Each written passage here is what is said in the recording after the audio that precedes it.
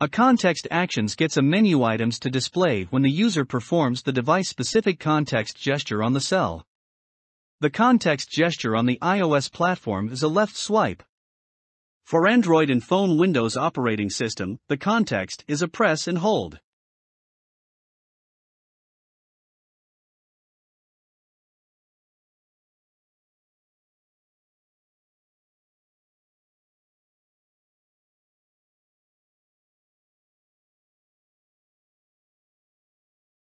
Good day everyone. I'm Michael, and I'm using a text-to-speech program to have a more clear speech and audio.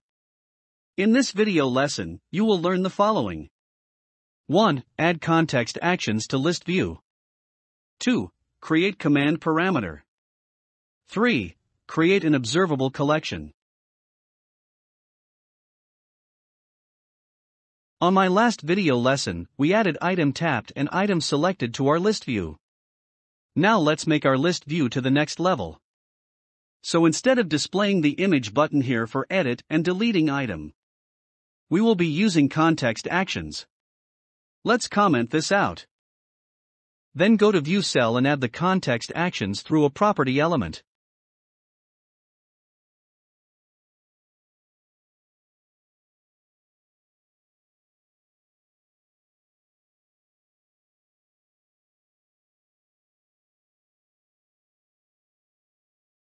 Context actions are created using menu item elements. Tap events for menu items objects are raised by the menu item itself, not the list view.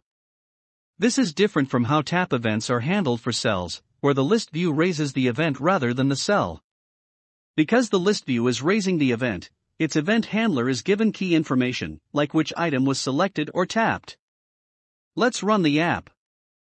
We're using an Android emulator, so just press and hold the item from the list.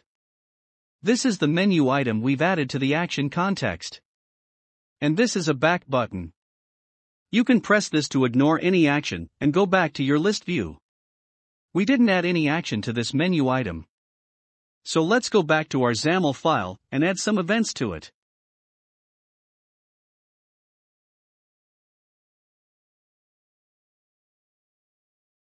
Let's go to the code behind. For now, we can comment out the code from our tapped and selected item events.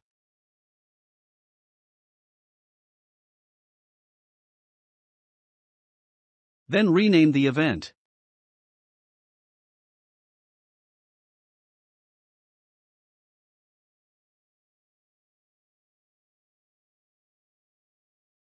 Let's start with Edit menu. Now, look at the arguments of this method. Unlike the selected and tapped events, our events args here do not carry any information about the current item. So how do we get a reference to that item? Here we have sender, which is a menu item. Because that's the item that triggers this event.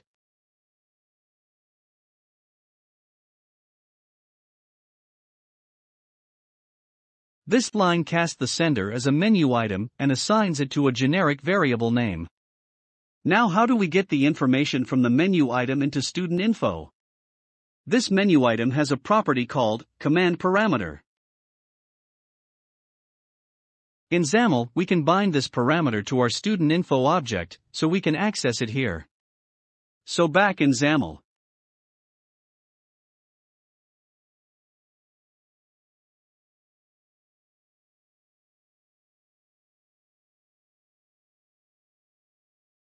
Here, I added a command property to each menu item.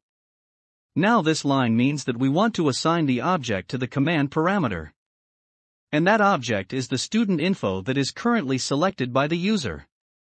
We input the period here to tell the program that we want to bind the whole object. Meaning we have all access to its property like name, status, and image URL. But if you prefer to get only the name or status property of the object, you can change the period to the name you intend to bind. But for this lesson, I would like to access all. Let's go back to our code behind and complete the event.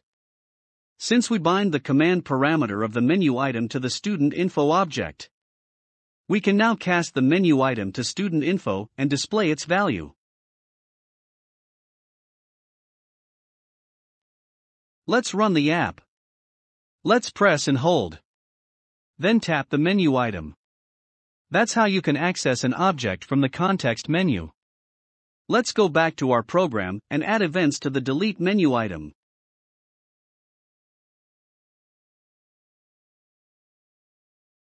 Here I just copy what we did to edit the event. Instead of displaying an alert message, let's delete the item from the list. But first we need to declare our list outside the constructor. So we can access it to our event.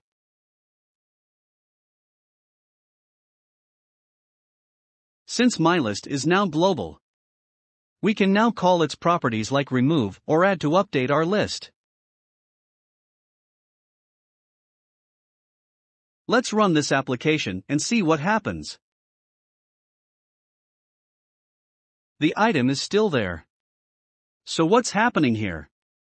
Technically, the item was removed from the memory. But the problem we have. It that our list view is unaware of it. Because we remove an item from the list, it does not fire an event and notify other objects about this removal. To solve this problem, we need to use a special collection type called observable collections. It represents a dynamic data collection that provides notifications when items get added, removed, or when the whole list is refreshed. So let's change our list to an observable collection.